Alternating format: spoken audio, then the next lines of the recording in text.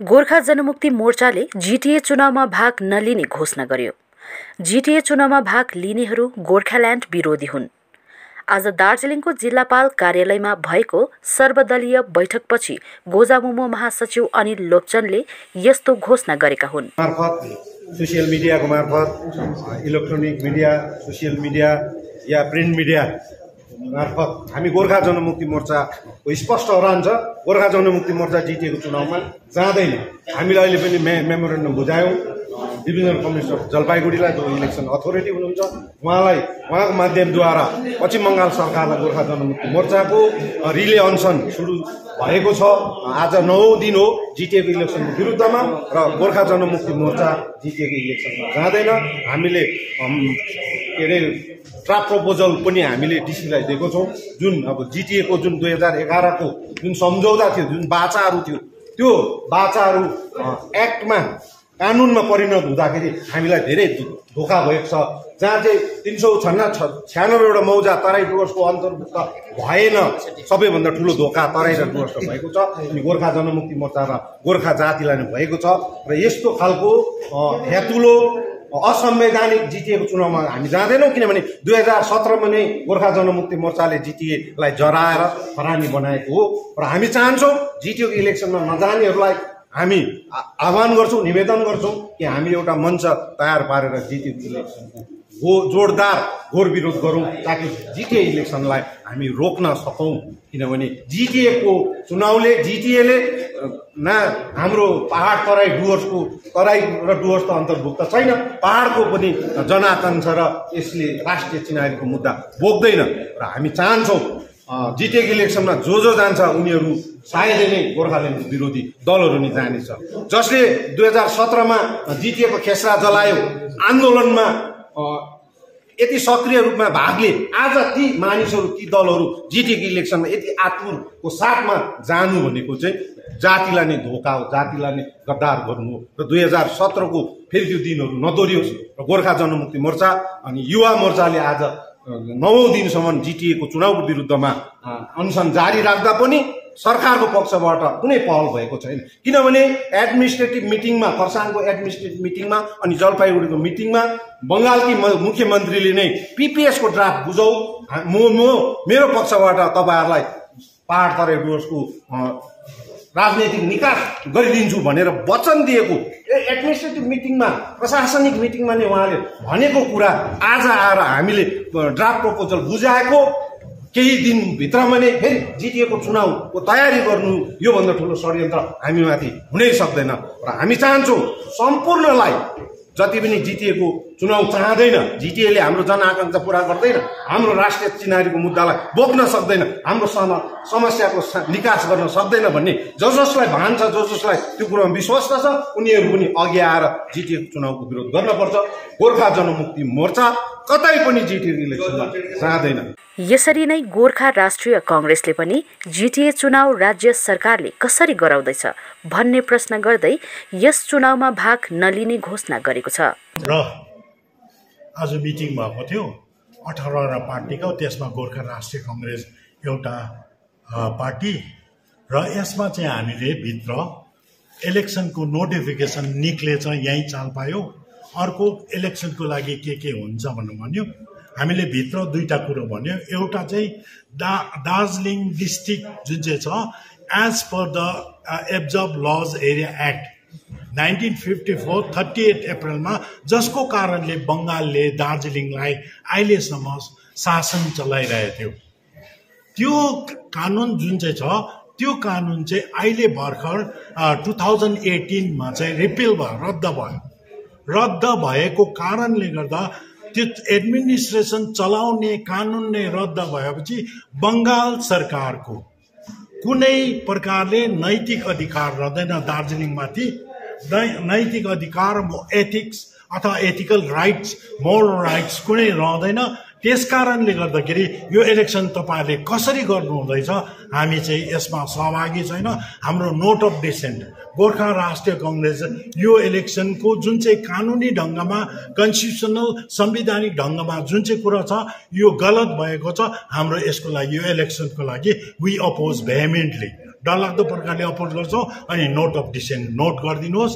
यसको लागि हामी इलेक्सनमा लड्नेवाला पनि छैनौँ अनि तपाईँहरूले कसरी चाहिँ इलेक्सन गराउनु हुँदैछ तपाईँहरूको एथिक्स र मोरल राइटै छैन भनेर हामी मिटिङमा बस्यौँ गऱ्यौँ त्यहाँ भएको डल्लै स्टाफलाई भन्यौँ इलेक्सन रिटर्निङ अफिसरहरूलाई अन्त हामी निक्ल्यौँ ल तपाईँहरूलाई धेरै धन्यवाद। यति कुरा गऱ्यौँ यति नै हामी यो यो जुन चाहिँ कुरा तपाईँले भन्नुभयो यो स्टेट इलेक्सन कमिसनरलाई कम् कम्प्लेन गर्नुहुन्छ तपाईँले।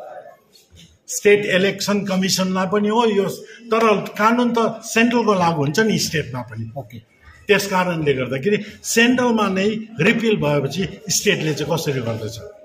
त्यो चाहिँ ठुलो क्वेसन यसको ठिक अर्कोतर्फ क्रामकपाले जिटिए चुनावबारे भएको सर्वदलीय बैठकमा भाग नलिए पनि जिल्लापाललाई एक ज्ञापन दिएर पार्टीले यो बैठकमा किन भाग नलिएको हो भन्ने बारे स्पष्ट पारेको बताएको छ। आज विशेष है जुन चाहिँ यहाँ अहिले डिएम अफिसबाट हामीलाई अल पार्टी एउटा यहाँनिर मिटिङ बोलाएको थियो जिटिए चुनाव लिएर। यसमा है हामी क्रमको पार्टीले पहिल्यै हामीले भनेको थियौँ कि जिटिए चुनावमा हामी भाग लिने छैनौँ भनेर। र र है यसरी नै आजको जुन यो है सभा राखिएको छ त्यो त्यो मिटिङमा चाहिँ क्रामाको पार्टी चाहिँ एटेन्ड हुँदैन भनेर हामी त्यो जनाउनु चाहिँ डिएम साहबलाई आयौँ है। साथै किन एटेन्ड हुँदैन भन्ने हामीले एउटा विस्तृत देखेर जानकारी हामीले उहाँलाई दिएको छ।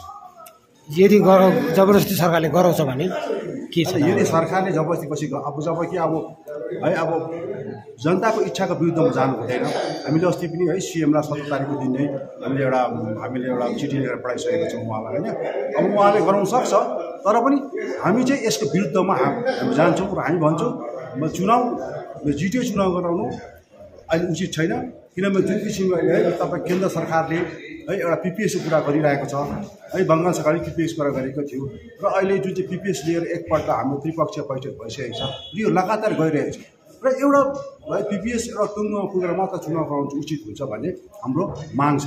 है तर है र यो जिटिएको चुनाव चाहिँ नगरिदियोस् जाओस् भन्ने नै हाम्रो पार्टीको अरू के के पोइन्ट लिएर चाहिँ नगर्ने भनेर आज यो होइन पोइन्ट त अब त्यो हो। जस्तै कि अब पिपिएस जुन चाहिँ हुनु लागिरहेको छ त्यो पिपिएसलाई कहिले हुन्छ पिपिएस हजुर। कहिले हुन्छ पिपिएस पिपिएस कहिले हुन्छ भनेर त हामी त्यो त गरेर दिउँ तर पनि है पाँच वर्षको निम्ति हामीले एमपीलाई सघाएको छौँ है। र पाँच वर्षभित्रमा चाहिँ त्यो पिपिएस हुन्छ भनेर हाम्रो आशा छ।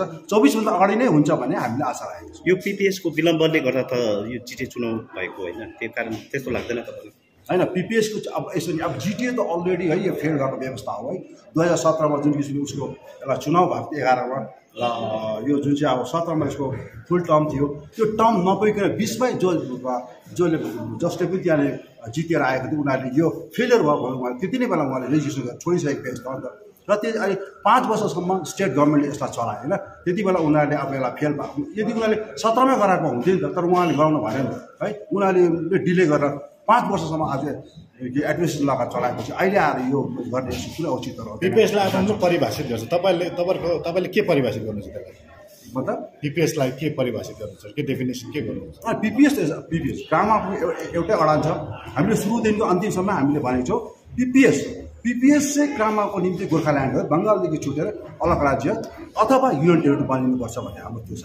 होइन जिटिए चुनाव त मोटामोटी हुने निश्चित नै देखिँदैछ। आजसम्मको काम देख्दाखेरि सरकारको है र गराउँछ नि। क्रामकको पार्टीको चाहिँ के हुन्छ सरकारको दया तमल देख्दाखेरि गराउँछ भने हामीले पनि बुझ्दैछौँ। र त्यसरी नै हामीले गराउनु हुँदैन भनेर हाम्रो जोड छ। अहिले यसमा नोटिफिकेसन भएको छैन होइन? र हाम्रो जुन अब गठबन्धन छ यो गठबन्धन चाहिँ काम आउँछ। हामी गठबन्धन बस्दैछौँ। बसेर यसको लागि सडकमै आएर हामीले विरोध गर्नुपर्छ भने पनि क्रामकको अथवा गठबन्धन हामी तयार छौँ। सडकमा आएर पनि हामी विरोध गर्छौँ पार्टीले भनेको छ जनताले जिटिएलाई दुई हजार सत्रमा नै खारेज गरिसकेका छन्। अनि यसले पहाडका जनताको आकाङ्क्षा पूरा गर्दैन। यसै कारण जिटिएको चुनाव पूर्ण रूपले व्यर्थ हुनेछ। यद्यपि भारतीय गोर्खा प्रजातान्त्रिक मोर्चाले जिटिए चुनावमा भाग लिने कुरा आज फेरि दोहोऱ्याएको छ। अफ द इलेक्सन तर हामी चाहिँ आज अब यो त इलेक्सनको मिटिङ हो वास्तवमा कि? यहाँ अरू कुनै कुरो पनि हुँदैन। यो त अब इलेक्सनको प्रोसेस स्टार्ट भयो from the day when the government appointed the election officer हामीलाई लाग्छ कि त्यसले गर्दाखेरि यो नर्मल इलेक्सनको मिटिङ थियो।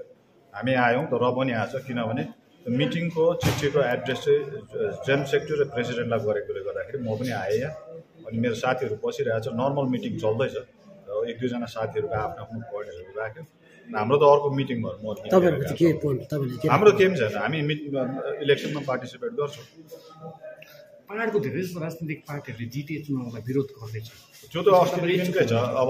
होइन उहाँहरूको आफ्नो आफ्नो अब अब पार्टीको स्ट्यान्ड हो है। अब त्यो त म उनीहरूमाथि म बोल्नु सक्दिनँ उहाँहरूको स्ट्यान्ड तर हाम्रो चाहिँ के हो भने सरकारले जब चुनाव हुन्छ भनेर निश्चित गरेपछि हामी एउटा रेस्पोन्सिबल पार्टी भएको कारणले हामी पार्टी ग्राउन्ड अझै क्लियर भएको जस्तो लाग्दैन तपाईँलाई? के चाहिँ? ग्राउन्ड अझै क्लियर छ? मजाले खेल्न सकिन्छ चाहिँ खुल्ला छैन। देखिए जीटीए कोई इलेक्शन नहीं है। जीटीए जो गिने चुने जो बंगालपंथी नेता हैं या जो कॉन्ट्रैक्टर है, उनके लिए टेंडर का एक प्रोसेस है। क्योंकि भारतीय जनता पार्टी या हमारे अलायंस पार्टी के साथ ही हम कॉन्ट्रैक्टर नहीं हैं। हम किसी तरह का जो है रोड बनाने का काम नहीं करते, हमारे पास लाइसेंस नहीं है, इसलिए हम भाग नहीं लेंगे। जीटीए ये असंवैधानिक एक बॉडी है। न इसके पास कोई पावर है, न ये कोई कानून बना सकता है, न ये कोई रूल को फ्रेम कर सकता है। और ये गोरखा विरोधी भी है। और ममता दीदी गोरखाओं को लेकर वास्तव में ईमानदार है। तो मैं आपसे एक ही बात पूछना चाहता हूँ। आपने महकमा परिषद अनाउंस किया। फिर आपने पहाड़ में पंचायत चुनाव इलेक्शन क्यों नहीं अनाउंस किया?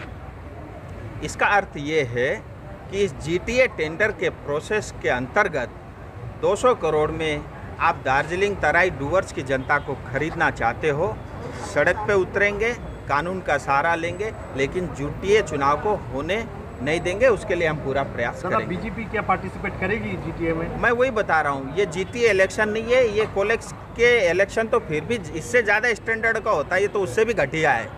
तो हम किसी तरह का टेंडर में पार्टिसिपेट नहीं करेंगे। दादा कि गुरुंग भी ये जीटीए इलेक्शन लेके थोड़ा राज्य जो भी जाति प्रेमी होगा जो भी समाज प्रेमी होगा जो भी जो भी दार्जिलिंग तराई डूअर्स की जनता से प्रेम करेगा वो सब जीटी के अगेंस्ट में ही रहेगा।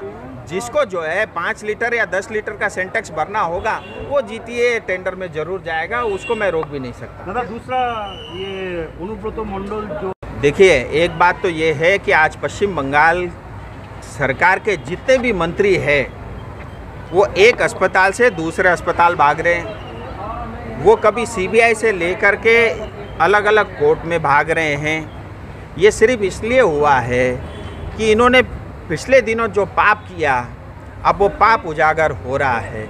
लेकिन भारत में अभी भी कानून का राज है, चाहे कोर्ट हो, चाहे सीबीआई हो, जिसने भी पाप किया है उसको भुगतना पड़ेगा। यहाँ के आप सबने सुना होगा, पूर्व के शिक्षा मंत्री, वो भाग रहे हैं इधर से उधर। हाल के एडुकेशन के एमओएस अपनी बेटी को नौकरी में रख रखी है। कोर्ट ने तो ये तक भी कर दिया कि आप जो है, पिछले दो साल का आप जो है सैलरी वापस करो, स्कूल जाने से रोक लगा दी। मतलब ये भ्रष्टाचार का चरम सीमा है। इसलिए आज बंगाल आज डूबा हुआ है छः लाख करोड़ के कर्ज में डूबा हुआ है और आए दिन ममता दीदी सिर्फ़ घोषणाएँ करती है। लेकिन वास्तविकता ये है कि ममता दीदी से लेकर के सारे नेतृत्व पूरी तरह सिर से लेकर पाँव तक भ्रष्ट है। नहीं अभी कोई, हमारी ऐसी कोई बातचीत नहीं हुई। और मैं इतना ज़रूर कह सकता हूँ कि विमल जी हो या और कोई भी नेता या पार्टी हो जो गोरखा के हित में सोचेगा, वो जीटीए के खिलाफ रहेगा। इतना मैं कह सकता हूँ। और जहाँ तक विमल जी का सवाल है, कठिनाई थी, परिस्थितियाँ वैसी थी, लेकिन फिर भी ऐसे हमारे बहुत सारे नेता हैं, उनसे बहुत अच्छे ये मैं कह सकता हूँ।